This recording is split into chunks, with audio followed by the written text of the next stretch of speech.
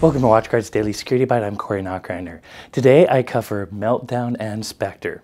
As I promised in yesterday's video, today I'm going to talk about some major processor vulnerabilities, specifically some vulnerabilities that affect primarily Intel, but also AMD and ARM processors as well. As I mentioned yesterday, on Wednesday, news started leaking early of some pretty serious vulnerabilities that affected a wide range of processors. This is pretty much a big deal because of its huge wide scope. It pretty much affects almost every major computing platform. Anything that uses Intel processors for the past 10 years, as well as it could also affect AMD and ARM processors to some extent. Now I'm going to keep this video short and just cover the high level details of this issue. If you want more technical detail, we already have a written Secplicity post that goes into technical detail about these flaws, as well as a knowledge base article that talks about how WatchGuard is affected. I'll jump to the chase and say, well, we do use affected processors processors, this is a very low impact risk on our devices. In any case, over the past few weeks, researchers at Google's Project Zero, as well as researchers at certain universities, have found three different vulnerabilities in a number of processors. Now, they've given these three vulnerabilities two names. Two of them are called Meltdown and primarily affect Intel processors, and the third is called Spectre, and that's the one that could affect all processors. Now, I'm not going to go to in a ton of technical detail about these three vulnerabilities, but they all have to do with something that modern processors have done over the past decade, something that's generally called speculative execution. It has to do with some sort of multi-path or branched execution. There's ways CPUs or processors can increase performance in multi-threaded or multi-pipeline situations where they can kind of guess or, or think they know what instruction's coming next and start early execution on that particular instruction for performance reasons. If they're wrong, they can just throw out the result, but if they're right, they save a lot of performance. So long story short, these speculative execution capabilities just increase performance of these processors. In any case, researchers from organizations found that they could play with tricks with how the CPU caches uh, results of instruction execution to actually leverage these flaws to perform something called a local information disclosure vulnerability.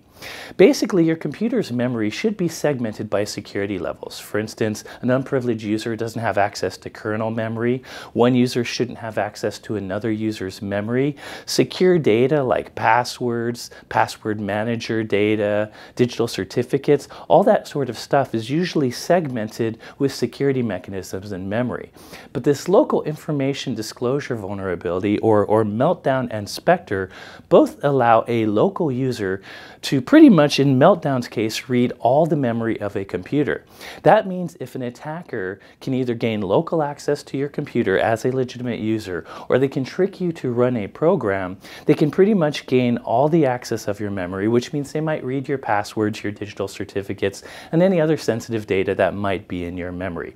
Now, Spectre is similar. It still requires local execution of code, but in this case, it's only one application gaining access to another application's memory, and it's also harder to exploit. So really, that's what all the big press is about. This is a flaw that is only local. It's not remotely accessible. Attackers can't do this over the network. They have to get code to run locally on your machine.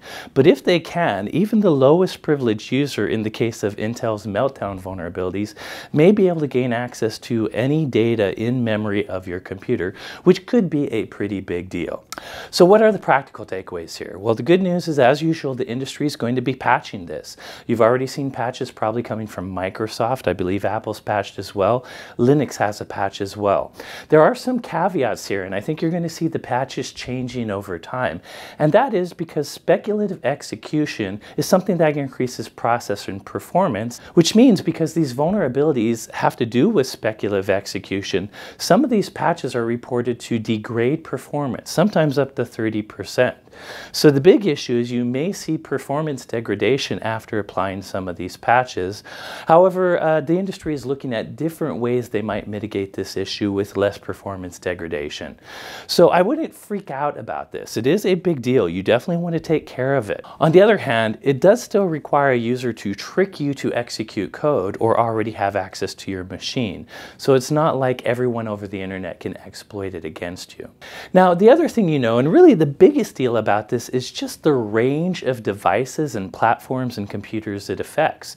Pretty much everyone out there, you are definitely affected by this because I'm guessing you have some platform that has one of the affected processors. But the big thing to know is because this requires local arbitrary code execution in order for the attacker to, to use it, it primarily affects traditional laptops and desktops, the kind of computer you use every day to actually execute code.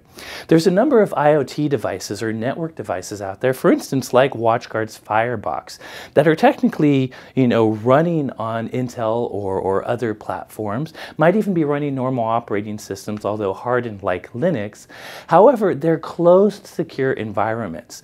For instance, WatchGuard's Firebox is designed not to allow anybody to execute code. We have a closed firmware. We only run code that we supply as firmware, and we don't give users a mechanism to run code on our device. And that really comes down to WatchGuard's effect, which you can read more about in uh, our knowledge base article. But basically, because our devices don't allow users to execute code, even though a number of our products do have affected processors, this is a very low risk flaw for us because you would have to find a vulnerability in our product, some way to execute code in our closed system in the first place to be even able to use this. And by the way, if you found a way to execute code on our product, you already have a much bigger vulnerability that would affect our product. This vulnerability really wouldn't matter that much. So while WatchGuard products do use affected processors, this is very low impact on our normal Firebox products. Some other notes. Cloud and virtual environments are heavily affected by this vulnerability. Now remember, a hypervisor runs Intel processors as normal, but a hypervisor handles memory for many different guest machines.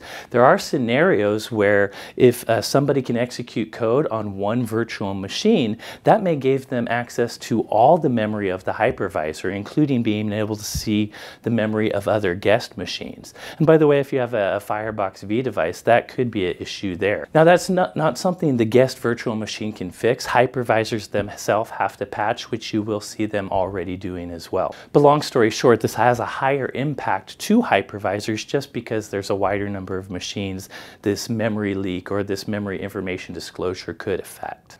So let's summarize. This is a pretty wide-reaching industry flaw that affects pretty much everybody out there. It is a big deal on some devices because if a local user can gain access to all memory, it allows unprivileged users to maybe steal some pretty sensitive data.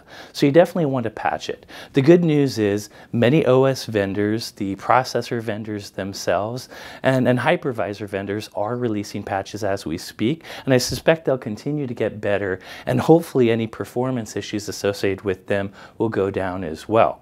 Now do realize this doesn't affect every device to the same extent. For instance, you do have to patch even non-traditional computers, any IoT device, network appliances, other appliances that might still use these processors. But remember, some devices have a lower impact simply because if there's no way for people to locally execute code on the device, if it's a closed system, it'd be much harder for any attacker to exploit these types of vulnerabilities. Anyways, this is a fast developing story. I'm sure we'll be hearing about it for weeks and months to come. If there's relevant updates, I'll be sure to share them here. In the meantime, if you want much more technical detail on the flaws, be sure to check out our Secplicity post, which I'll link to in the blog post associated with this video. Also push our knowledge base link, which talks about how WatchGuard products are affected. Good news is very low risk. And finally, I'll share all the official links and FAQ pages that uh, from people like Google, Project Zero, and the other organizations that have all the details and white papers papers on these vulnerabilities. Pretty intense uh, InfoSec way to start a new year. Definitely not something all the IT administrators in the world probably want to deal with right away, but a relatively new class of vulnerability that's interesting from a research perspective. That's it for today's news. Thank you for watching.